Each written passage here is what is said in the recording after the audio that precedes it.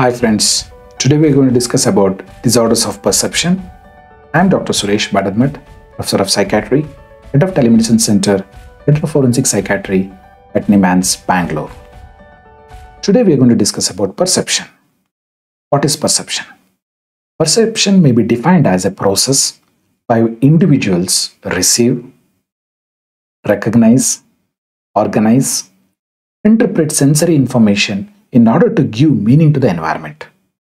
That basically, every human being perceives the environment through five important senses that is, eyes, ears, nose, that is, taste by tongue and touch. However, there are other important sensations like proprioceptive sensations, temperature, pain. They also may be considered as a part of a touch, but they are also part of perceiving the environment. Why it is very essential? We have to know disorders of perception because perception is an important component under mental status examination. In the out of seven important components, sixth component is perception. How to assess perception? Perception, disorders of perception are assessed by collating information from all possible sources, family members, friends, at workplace, various other people, significant people can give information about the patient. Ask about whether the patient has any hallucinatory behavior, talking to self, smiling to self, gesturing, or saying that somebody is standing in front of him where nobody can else see them. So these kinds of hallucinatory behavior, collect the information. And another important is interviewing the patient. All these important sources will give whether the patient had any perceptual abnormalities. Who should do the assessment? Of course, psychiatrist, junior residents under psychiatry, primary care doctors, psychologist, social worker, and nurses who are trained in this area should be able to do this. Let's under, understand disorders of perception. Disorders of perception have been classified into two important things disorders of distortions and deceptions. So let's understand distortions. Distortion here, the perception is there, but however, there is a distortion in the perception. For example, in the intensity, the intensity may be very less, that is hypoesthesia, or the intensity may be bright, hyperesthesia. The color, color of an object becomes very intense even if it is normal to other person. Here he looks at very bright red or bright green color. They are called as hyperesthesia. Or else certain color becomes very dull they are all hypoesthesia. So the intensity, the way the perception is seen, so they are there. Quality, sometimes the color may change from one to another, or else the whole perception will be in a different format of color. So they are all in the quality. If there is a distortion, that is also one of them. Spatial formation, spatial forms of disorder. Sometimes the objects will be seen small or big. They're called as micropsia or macropsia. So though these, these distortions are seen as a part of psychopathology, they do not have much meaning. But however, if you look into the older studies, early signs of schizophrenia, the patient have reported in the early symptoms before they developed frank schizophrenia, they used to have this micropsia or macropsia. That means the distortion in the spatial form of the object, where the early signs of schizophrenia has been noted. But however, at this point of time, these micropsia or macropsia or quality change or hyper hypoesthesia or hyperesthesia these are not does not have any diagnostic validity at this point of time. But however the deceptions have a very important role to play. They are illusions hallucinations and pseudo hallucinations let's understand this. Hallucinations pseudo hallucinations and illusions. Hallucinations are basically perception without stimuli this is what the Jasper has given a very good uh, definition and Esquirol has also has given Esquirol has given a very good definition. A simple definition is there is a perception but there is no stimuli in any five senses or pseudo hallucination. Pseudo hallucinations are nothing but false hallucination but they are in the subjective space. They are not so vivid, not so clear, not they lack substantiality and they can the person can control them and they have a complete insight that they are belong to them and they are out of their mind process. They are all pseudo hallucination. This is one of the commonest question which is asked in the exams. The differentiation between hallucination and pseudo hallucination. First and the foremost is clarity, reality, and substantiality is very common in hallucination, and hallucination comes from the objective space. Whereas pseudo hallucination from the subjective space, clarity is not there, and the vividness is not there, borders are not vivid, complete control is there, insight will be there. The control may be to some extent very varying, but however, in hallucination, they are not under control. Illusions are nothing but misinterpretation of the stimuli. Let's understand hallucination. Hallucinations are seen in five different modalities, commonly auditory, that is hearing of voices, visual hallucination, seeing, tactile hallucination, feeling somebody is touching them, gustatory hallucination, taste, olfactory hallucination, smell.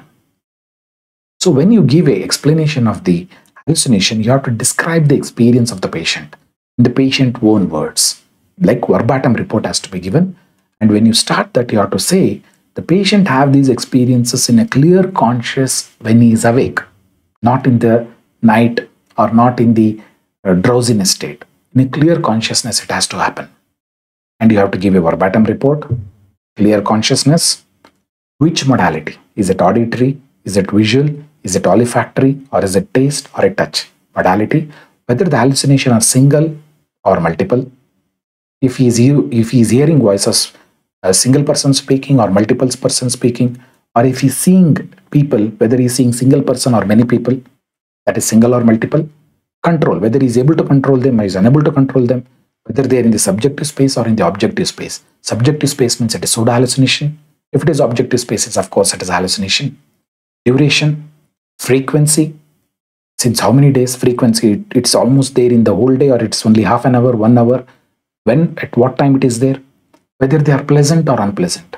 Sometimes some auditory hallucinations, some hallucinations may be soothing, somebody will be derogatory, somebody, some voices will be commanding, some voice will, voices will be threatening.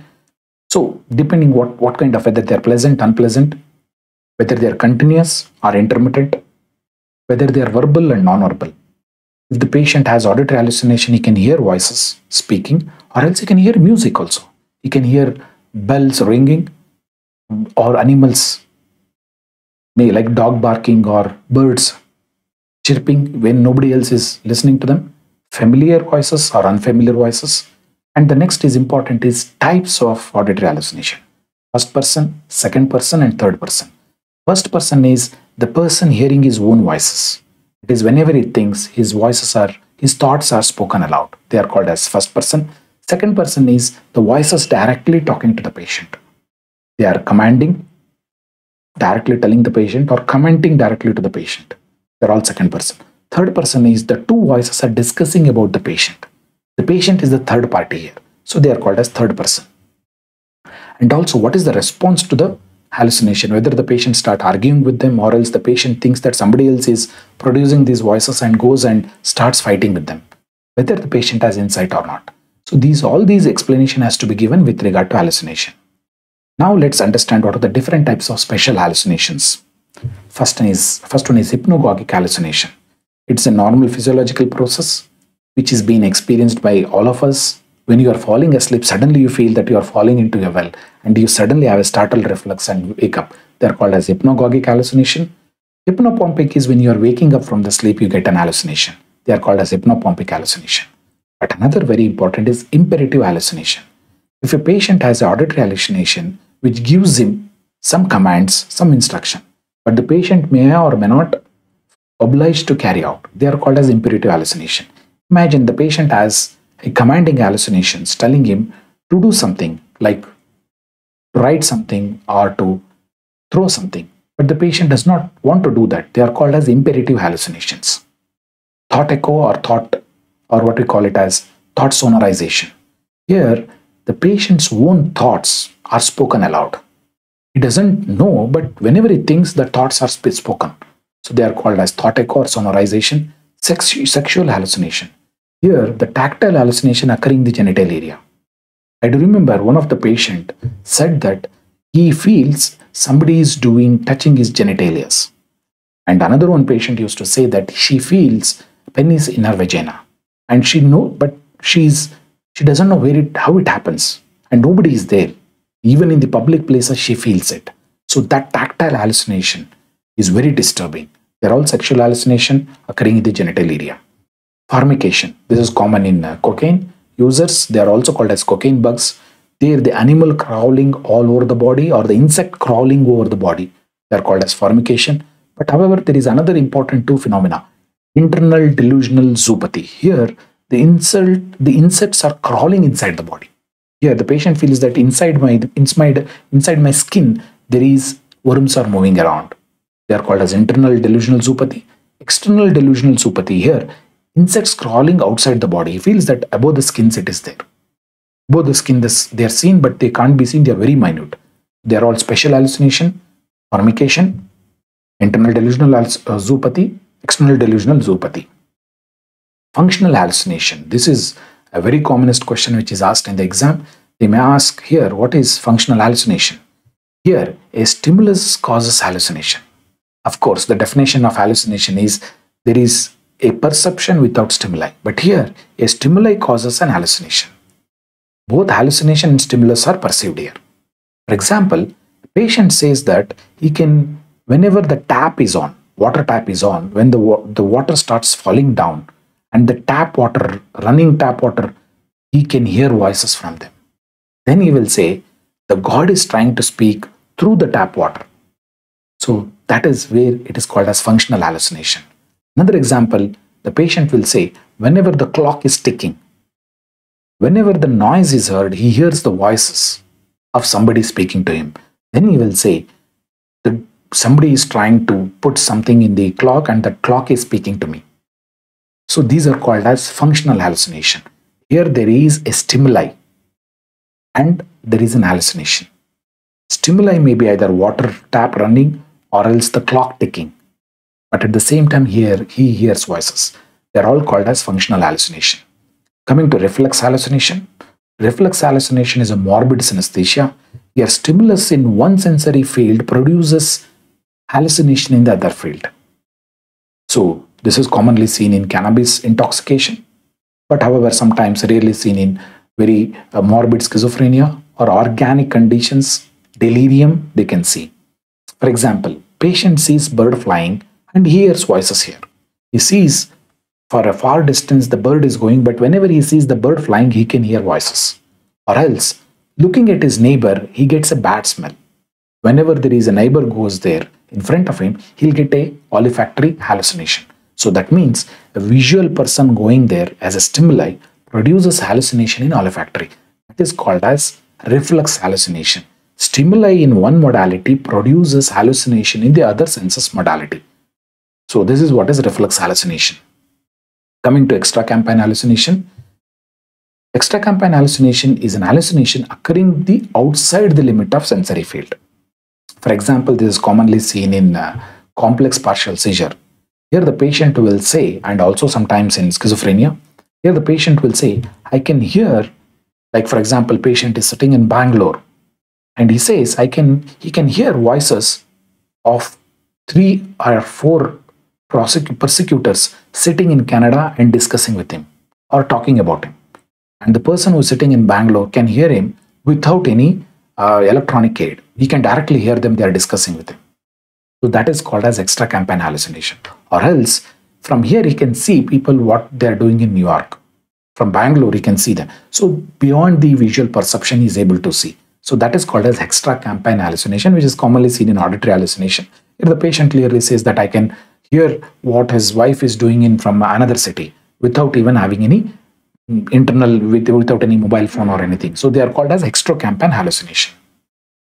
The other important is autoscopy or what we call it as phantom mirror image.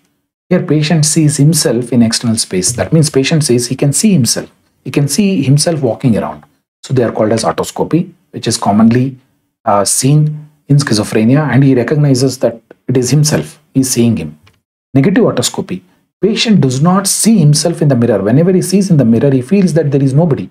He can't see his image. That is negative autoscopy. Another one is internal autoscopy patient can see his internal organs. Whenever he looks at it, he says that he will be explaining, I can see my heart, I can see my stomach, but it may not be exactly to the anatomy, but he will give a rough idea whatever he knows. They are called as internal autoscopy.